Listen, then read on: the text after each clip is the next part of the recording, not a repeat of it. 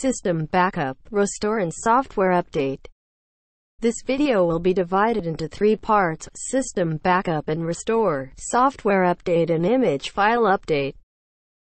The first part will be System Backup. User can find Backup System function in System Administration. In Backup System page, user can select SB or MB Backup.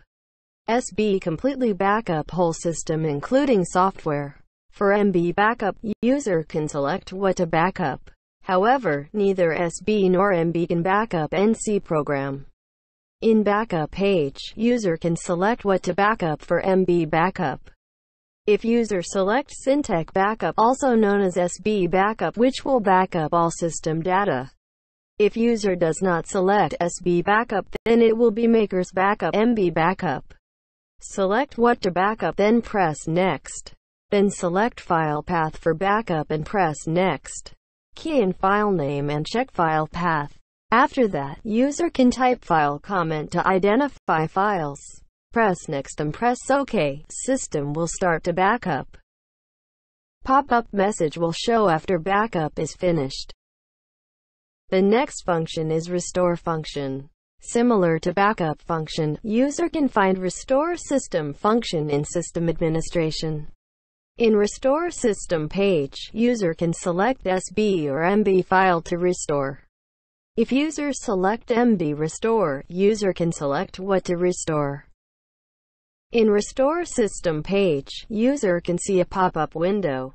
Select MB or SB file, then press OK. If MB file is select to restore system, user can choose what to restore, whereas SB cannot. Press Next and system will start to restore system. When the process is finished, there will be a pop-up message to remind user to reboot. The second part is software update function. User can also find this function in system administration. Steps will be demonstrated in next pages. User should download the installation package on Syntec website. User can find desired installation package, check software version and controller model in the red box, then press OK. Another message will show up after previous step. Press yes and system will be ready for software installation. Reboot to complete software update.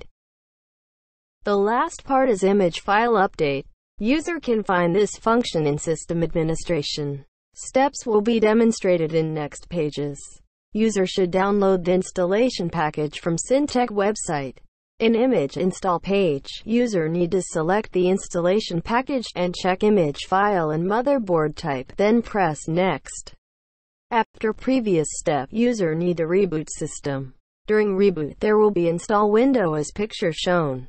After that, user can check image version and system information.